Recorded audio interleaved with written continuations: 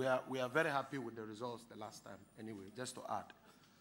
But at the, at, at the same time, I want to find out what your take is in respect to the local league and sponsorship from corporate Ghana and um, what you can do with your experience in football management and how the telecos can help restore the local league. Thank you.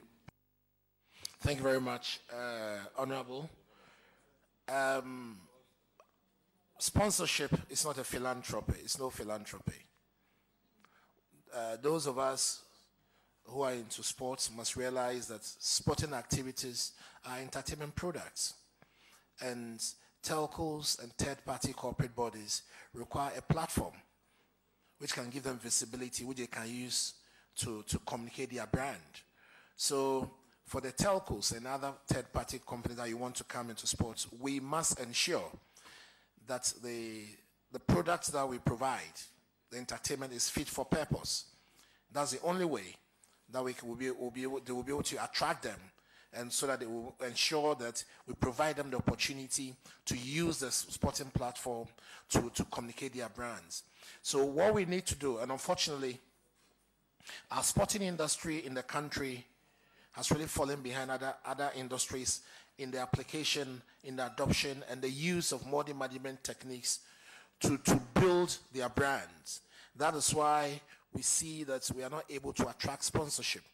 Once, what a lot of people don't realize that people, for example, football clubs are not in the business of football. They are in the entertainment business through football for a profit. Once you begin to look at products in a competitive manner, there are certain ways that you must structure them to give value. Unfortunately, that's what we've not been able to do. That's why the telcos are very reluctant and other people are reluctant, unlike other countries, to provide value. One of the most objective and unbiased assessments of whether the product we are providing is fit for purpose is that people people don't go to stadium. They are our main customers, both the live audience and then the on live audience. They don't do that, so no one will come and associate with you. We need to reform, and that's the only way we'll be able to attract sponsorship. Thank you very much. Um, Honorable Nikwate, you have a question?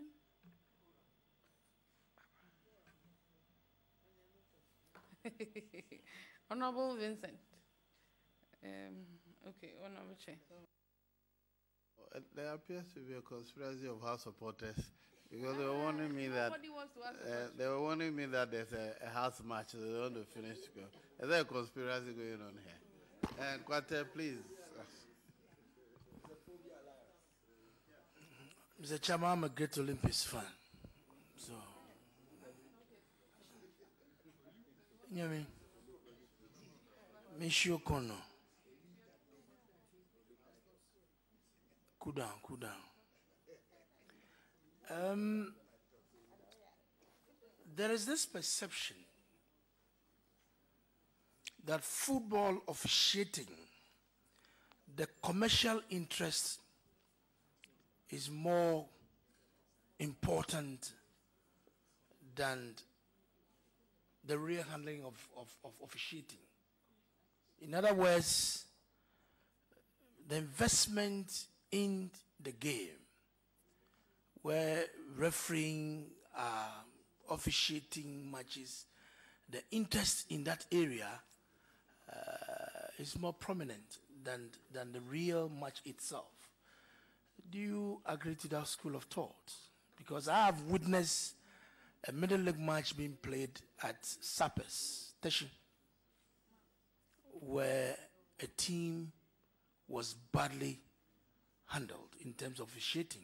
I have to step in and told the managers that the way they handle the matches is not in the interest of football. I've been an active footballer before.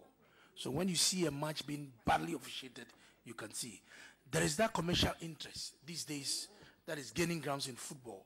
That instead of the referees handling the matches the way it is, they look at commercial interest and all that. What do you think is the cause and what can be done about it? Are you saying that the referees consider the commercial aspects instead of considering what the technical decisions for them to take? Exactly so. Mm, I'm not too sure about that. Uh, I don't, no, I, I, I, I, don't have any reason. I am not too sure about that. There could be lapses where they are not, but I'm not too sure about that. My second question, Mr. Chairman. You were part of the Parliamentary Select Committee Trade, Industry and Tourism when we visited Trade Fair site. And we were not happy with the presentation that was given to us by the chief executive and his team.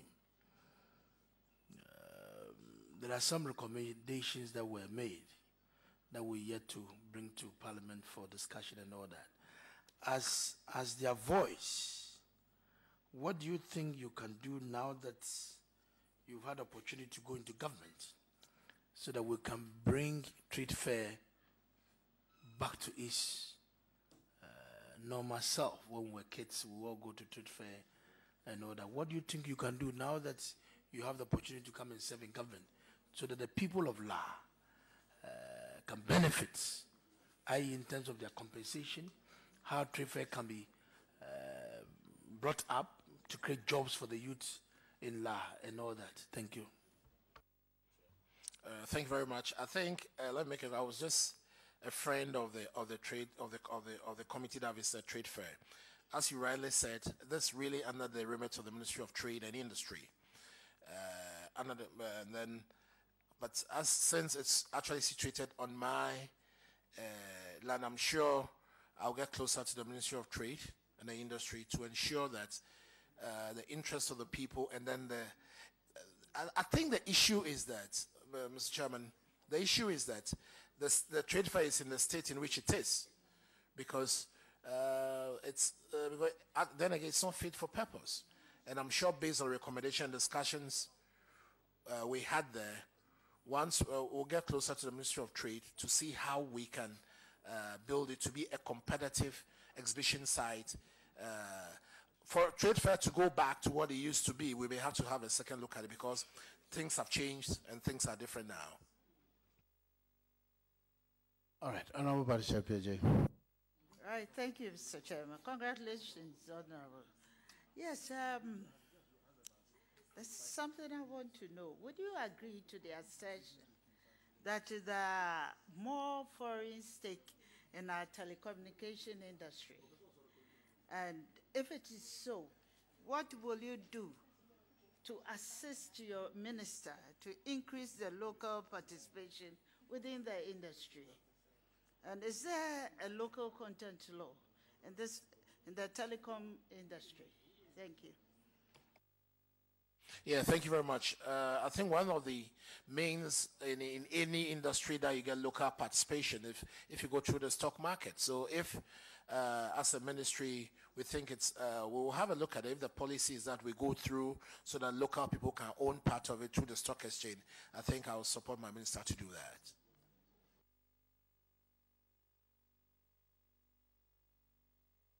Anyway, thank you very much. Uh, in my constituency, I was encouraging people to pay attention and pay their TV licenses fee. But uh, I had a feedback, and the feedback was that they have been paying the fees, but they are not having quality programs from the TV stations. I don't know whether they want more of the Kumkum Bhagya jazz uh, or what, but I believe that something has changed. But uh, what would you recommend to enrich the, uh, the viewers, to encourage them to be paying their license fee? Thank you. Thank you very much. I think that we, uh, we are migrating from the analog to the digital terrestrial TV, which will ensure a clearer picture which will ensure a better quality sound and then a more interactive TV experience. So I'm sure once we get there where uh, the issues uh, regarding the quality in terms of uh, the view will change. But with regards to the content, I think it's a competitive thing, which we as a ministry, we can also only ensure as a regulator to encourage them. But it's a competitive thing when, uh, if they, they have to do quality programs uh, to ensure that uh, um, I mean, uh, to, to ensure that they attract the audiences.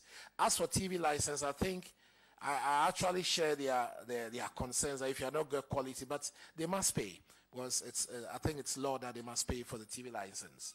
Thank you very much. Honorable Jato. Thank you very much. You buy, you buy your purchase unit on your phone, and within a minute they said your, your, your unit is finished. What, what can you do to help us? I mean, the consumers. To, to, to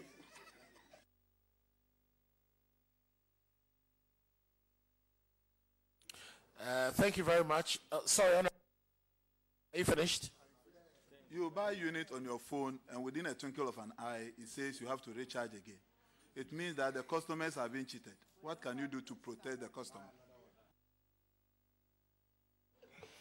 Uh, thank you very much. Um, I think that we, the first step is to, uh, all of us, I think we are, uh, we need to be educated on how to bundle the credit that we buy because uh, we, we are moving right into broadband where data data, data is quite expensive.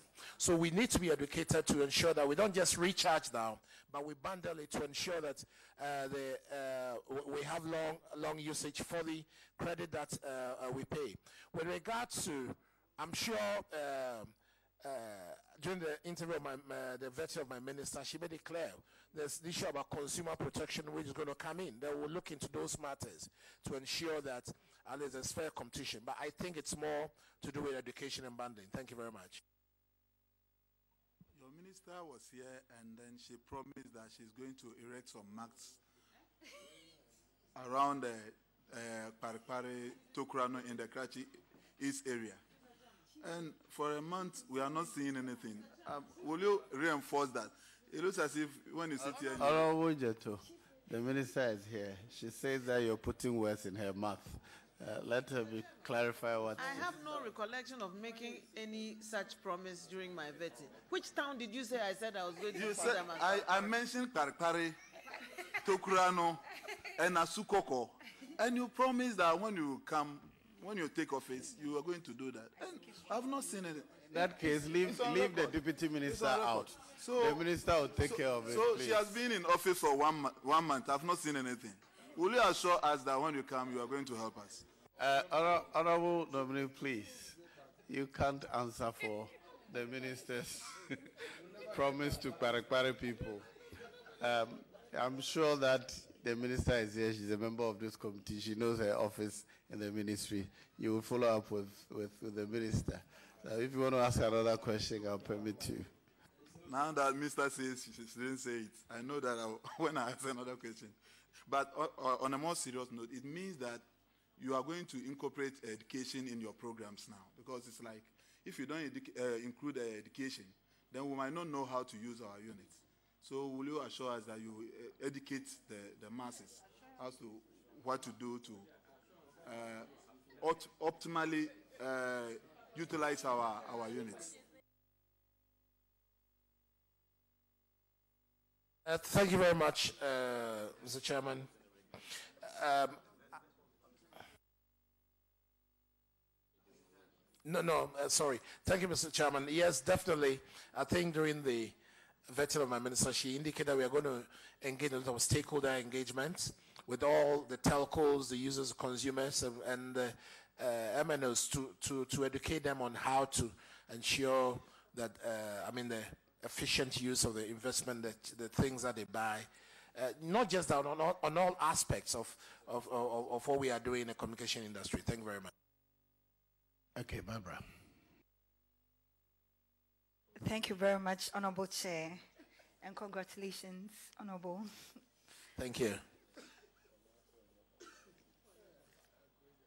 Looking at your minister, I mean, she's part of this committee. I know she, she believes in standards. I want to find out from you what you would do to assist her make the Ministry of Communication an outstanding one. Thank you. Uh, thank you very much. Yes, first of all, let me say how privileged I feel to be working with uh, my minister and, and, my, and my other colleague. I think I think my minister is proven beyond every every uh, every doubt that she's she's very capable, a very good leader.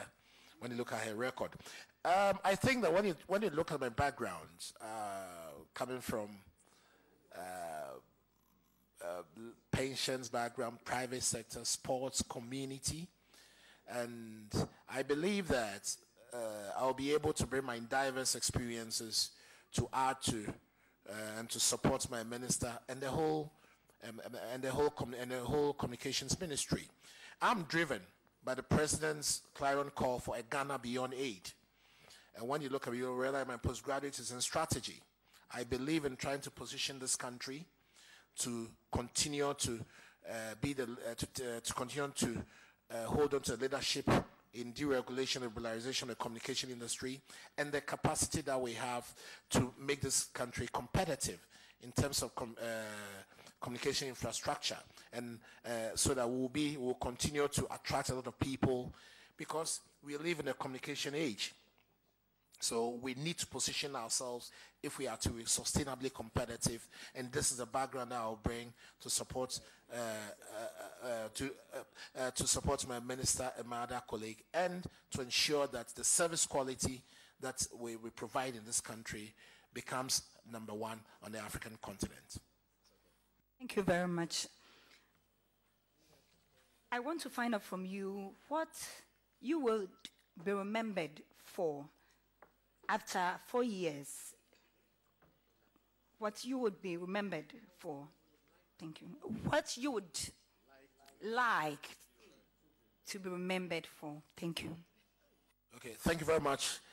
I, I would really love to be remembered as someone who supported his minister and the communications uh, ministry and, and the whole team and the whole team of uh, all the agencies are, uh, that we are, going, we are going to work with to provide the best uh, the, the best uh, IT infrastructure and the best transformation in the communication industry. That's what I want to be remembered for. Okay, Honorable Vice Chair. Honorable nominee, congratulations once again. Thank you very much. I want to ask you um, the telecoms, the telecommunication um, companies usually erect um, masts in various communities and all that. My concern, which I would want to know how you would be addressing it, is situations where they trespass on other people's property to mount these rats, uh, masts. I, I have a personal experience. In my garden, I was away in church, I mean, in front of my house where I've done my small garden. In the middle of the front view of my house, there was a mast being mounted. I'm sure many Ghanaians have experienced saying. How would you address a situation like this? And how would you advise your minister on the way forward? Thank you. Uh, thank you very much. I think the the action of uh, a mast being erected on your private property, it's it's a, it, uh, without your permission, it's against the law. So I think uh, i am sure I'll be supporting my minister for us to address this to ensure that before a mass is erected anywhere in the country, the environmental protection, the uh, the stakeholders, uh, all the stakeholders, the permits that must be required, like any other uh, installation to be done, are acquired. Uh, because um, for them to just come in into your private property is, is, is, is against the law. Thank you very much. Are you aware or do you know of any study that reveals that the, the closeness of these masts to the human being or the contact could be hazardous um, medically? Is that so? no. Uh, there's no empirical study on that.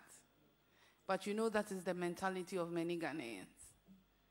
So if we want to promote and widen up the scope of communication in our country. And we have this, um, um, uh, this um, perception on the minds of people. I'm sure it's not the first time you're hearing this. How would you address the situation so that people come to terms with the fact that ICT or communication, telecom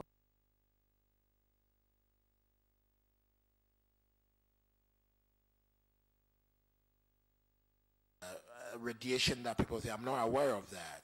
But to, but uh, however, these things are critical infrastructure which is required for us to be able to expand and, and pursue the policy of the universal access. So as uh, I will support my minister and the whole ministry for us to engage all stakeholders, uh, especially, I mean, all, all those involved in, in, in, in uh, and related to uh, this erection of mass so that one, they, they, they realize that we need this infrastructure if we are to improve the service and, and ensure that they, we embrace uh, uh, the drive for the broadband experience. So, then engage, uh, educate them via all stakeholders on the need for them to accept that and then uh, for them to know, uh, to assuage their fears that such things are not uh, really true until proven otherwise scientifically. Thank you very much. Lastly, what are the qualities you're bringing on board at the ministry to assist your minister perform? What are the qualities that we should expect on the job? Uh, first of all, I think it's teamwork. Uh, to manage Accra Hearts of Oak, uh, you must know that you need to, you need to take everybody everybody uh, uh, on board. And apart from that, uh, I, I, have a very very insatiable appetite and desire for performance and transformation. Um, I, I, recall the first question the Honorable Cabo asked me about the elections, how we were able to do it in Lada which was thought impossible. Yes, uh, I, I, I, have that, that, that, insatiable desire and the leadership quality to support my, uh, my, my, minister. And I'm sure you realize that I've also been worked the public service for some time. So uh, definitely I want to bring all these things to bear for the whole team to, to succeed and hopefully uh, make sure that wherever my minister goes, uh, me, me and my colleague, we follow her to wherever we go. We, we want to work as a good team. You follow her wherever she goes. That's a very dangerous statement. Miss, Mr. Ekuful won't be happy. it's, it, it's work related because already I'm learning so much from her and my other colleagues. And it's, it's really a nice experience. Uh, it's, it's only work related. Thank you very much. Uh, would you want to repeat that? oh, uh, you don't want to? Okay.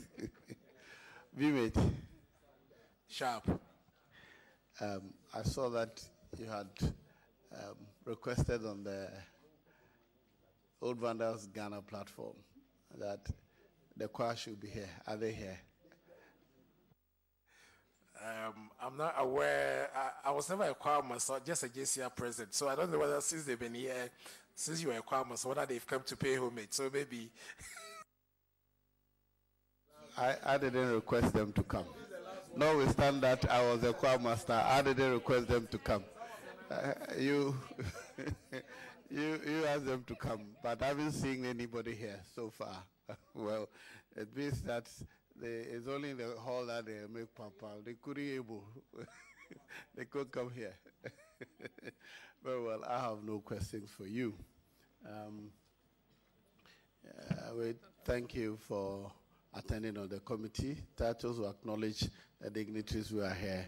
After that, we will discharge you. Thank you, Honorable Chairman the following people are here to support our colleague. The first on the list is Mr. Clement Edmund Odotei, father.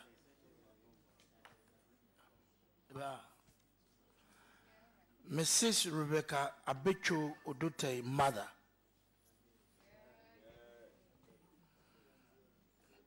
Mrs. Priscilla Akle Odotei spouse.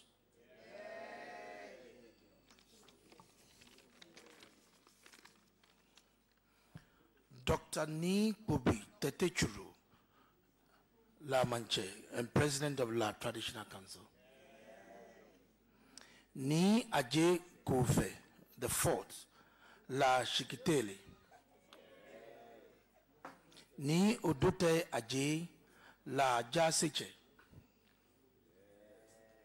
Ni Otin Granaki, Granaki the first, Abafun Akuchunche. Ni BK Yamu, acting Lenshin Akuchunche. Ni Mama M. Kwashi, acting Lamang Ochiame. JT Aye, Stool Secretary. Oko Ajay Mensa, La Stool Treasurer. Baita Gogo, Stenographer Secretary to Nila. La Kpawulomo,